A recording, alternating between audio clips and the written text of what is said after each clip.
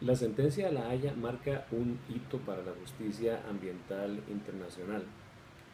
en el sentido de que los factores que fueron declarados, si bien eh, la Corte no fue agresivamente progresiva en lo que respecta a daños transfronterizos, la Corte sí reconoció el derecho eh, de nuestro país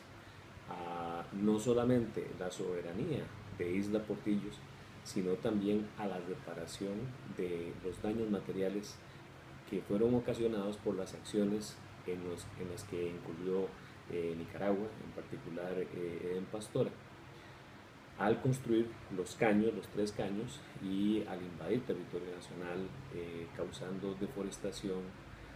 utilizando dragas para hacer canales y otros efectos. Están documentados perfectamente eh, de acuerdo con la resolución de la Corte. La Corte eh, nos llama la atención eh, en lo que respecta a la no presentación del estudio de impacto ambiental o a la no elaboración de un estudio de impacto ambiental transfronterizo a ambos países por las respectivas acciones en las que se incurrieron. Costa Rica se anota un triunfo que verdaderamente es un triunfo no solamente de las instancias técnicas del país, sino de toda la sociedad, de la sociedad civil organizada, de los grupos que se unieron para efectos de apoyar las acciones gubernamentales cuando el gobierno lo solicitó y cuando no lo solicitó, respetando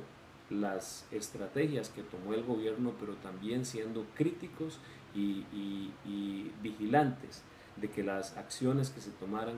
no fueran acciones en las cuales se estaban dañando los humedales del país y en particular los de la zona.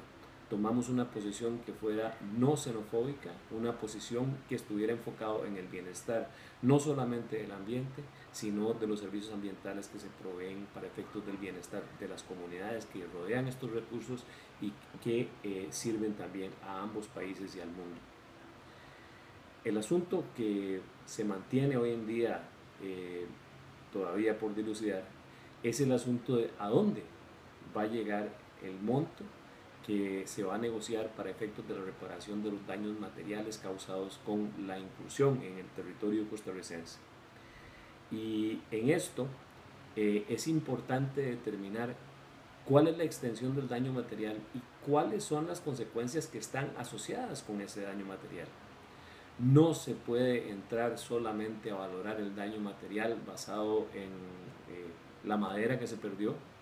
o basado eh, en los costos de cerrar caños puramente materiales. Tiene que asociarse esto con otra serie de factores que nosotros mismos como agrupaciones de la sociedad civil apuntamos desde el Frente Nacional por la Protección de los Humedales que tenían que ser contempladas desde la perspectiva de los servicios ambientales que es hoy en día universalmente aceptada como válida para efectos de determinar los eh,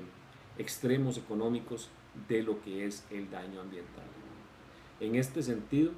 fue que quisimos colaborar con el gobierno de Costa Rica documentando y resumiendo los criterios técnicos que existían eh, alrededor de estos daños allá por el año 2011